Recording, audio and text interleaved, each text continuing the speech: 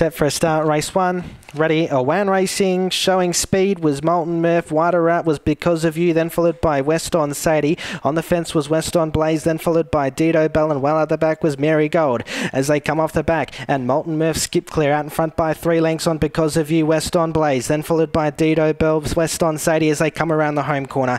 Molten Murph nice and clear, goes on to score by six lengths on Because of You. Third's a photo between Dido Bell with West on Blaze, then followed by West on Sadie. Last in was Mary Gold in a time of 22 and 85.